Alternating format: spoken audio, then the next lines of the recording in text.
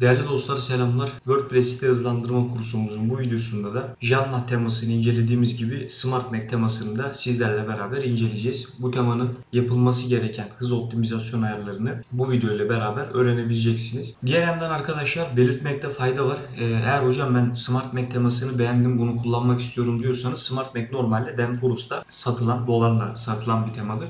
Bizde arkadaşlar Smart Mac'in regular olmayan lisansı olduğu için biz Smart Mac'i arkadaşlar lisanslı bir şekilde kurulumlarını gerçekleştirebiliyoruz. E, bu temayı da satın almak istiyorsanız Sepetix üzerinden de sipariş verebilirsiniz. Benimle de iletişime geçebilirsiniz. Diyerek arkadaşlar videomuza geçmek istiyorum. Şimdi öncelikle şunu söyleyeyim. Smart Mac arkadaşlar evet önemli web verilerinden geçebiliyor. Şu anda Cosmonaut.org web sitemiz halihazırda zaten hitli bir web sitesi. E, bu temayı hem biz deneyimlemek için arkadaşlar Cosmonaut.org'u kurduk. E, şu anda sıralamada bir kayıp yaşamadık. Mevcut girdiğimiz içerikler hala da çok güzel bir şekilde sıralama almaya devam ediyor. Bunu da örnekle göstermek gerekirse işte önemli web verileri ile alakalı bir içerik girdik. Önemli web verileri içeriğimiz arkadaşlar gördüğünüz gibi ilk sayfadan sıralama aldı. Ee, ilk giriş sırası arkadaşlar ikinci sıraydı. Daha sonrasından buraya e, Reon'un arkadaşlar altına geriledi. E, halihazırda arkadaşlar blogreon.net'teki zaten içeriğinde e, yazarı benim. Smart Mac'in arkadaşlar optimizasyonu e, biraz karışık. Biz çok farklı varyasyonlar denedik. E, Last Speed Change tarafını göstermek gerekirse şöyle göstereyim. Sayfa optimizasyonu bölümünde arkadaşlar bakın gördüğünüz gibi CSS, JavaScript, HTML gibi tüm sıkıştırmalar kapalı. Şu anda Last Speed Change'in arkadaşlar default ayarlarını kullanıyoruz. Ön bellek tarafında e, mem change'imiz aktif olmadığı için kapalı. Tarayıcımız da arkadaşlar açık. Sunucu olarak zaten CSA Dijital firmasında barınıyor. Cosmonaut.org web sitesi. Daha sonrasında arkadaşlar Smart Mac ile beraber gelen Debload Optimize diye bir eklenti var. Bu eklentinin arkadaşlar bazı ayarlarından bahsetmek gerekirse şöyle ki şimdi Debload Optimize eklentisi arkadaşlar Smart Mac teması kurulduğunda hani bunu da kurun beraberinde denilen bir eklenti. Bu eklentide arkadaşlar ilk tik ve ikinci tik işaretli. E, Bakery Page Builder'ı kullanmıyoruz. E, sadece Elementor'u kullanıyoruz. O işaretli arkadaşlar. Ve Remove Unused CSS yani kullanılmayan CSS'ler de arkadaşlar yine işaretli. Normalde bu e, temalarda arkadaşlar görsel problemlere sebebiyet verirken bu Smart Mac'te herhangi bir görsel probleme veya bir tasarımsal bozulmaya yol açmadı. JavaScript'te arkadaşlar herhangi bir delay e, veya minify seçenekleri kesinlikle aktif değil. Sadece arkadaşlar burada Elementor işaretli. Gördüğünüz gibi General Setting'de de arkadaşlar Disable for Admin yani admin girişleri için zaten buradaki mevcut şeyleri devre dışı bıraktık. Develop tarafındaki ayarlarımız da bu şekilde. Performance tarafındaki arkadaşlar ayarlarımız da şöyle. Halihazırda zaten General bölümü anlattığımız şekilde. Asset bölümünde arkadaşlar herhangi bir defer veya delay yok. Preload bölümünde arkadaşlar 5 görsel önden çağırıyoruz. Lazy load da aynı şekilde 5 görsel önden çağrılıyor. iframe ve YouTube videoları da arkadaşlar yine burada önden çağrılıyor. Görsel boyutlandırmasında arkadaşlar tikimiz işaretli değil. Çünkü o tarafta bir herhangi bir hatamız yok.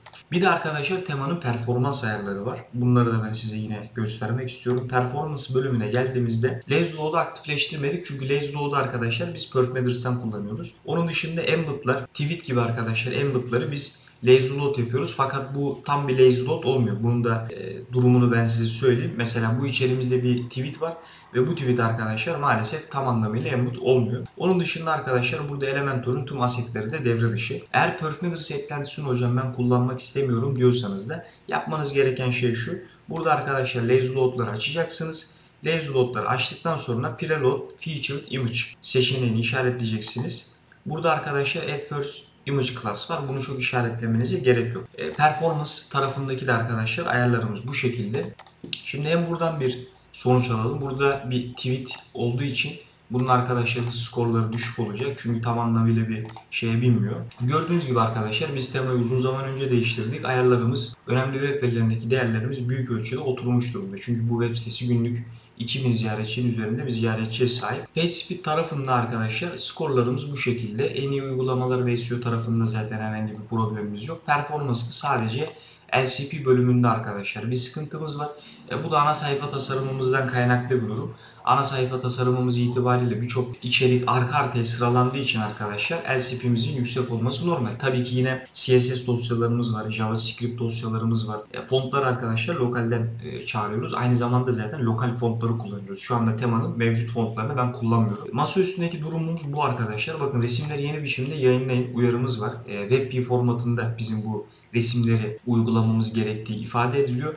Diğer yandan ben çok WebP formatını sevmediğim için e, bunu arkadaşlar kullanmıyorum. Eğer ben bu web sitesinde WebP formatını da kullanmış olsaydım muhtemelen arkadaşlar skorlarımız bir tık daha yüksek olacaktı. İçerik sayfalarında ise arkadaşlar aşağı yukarı durumlar bu şekilde. TBT bazen yüksek oluyor bazen düşük oluyor anlık e, teste göre. Zaten halihazırda e, kursumuz boyunca dediğimiz gibi performans arkadaşlar bizim için çok anlam ifade eden bir konu değil. Biz arkadaşlar mevcut kontrollerimizi F12 ile gerçekleştiriyoruz. F12'ye geldiğimiz senaryoda arkadaşlar A bölümünde bir CTRL işlemi yaptığımız senaryoda e, gördüğünüz gibi 2.8 MB'lık bir e, kaynak durumu söz konusu. Web sitenin arkadaşlar toplam e, ana sayfanın arkadaşlar yüklenme süresi 480 milisaniye olarak görüntülenmiş. Ön belleği devre dışı bırakıp tekrar bir sonuç aldığımızda arkadaşlar ise skorların bir tık daha yüksek olduğunu net bir şekilde görebiliyoruz. Ana sayfanın yüklenme süresi de bir tık artıyor.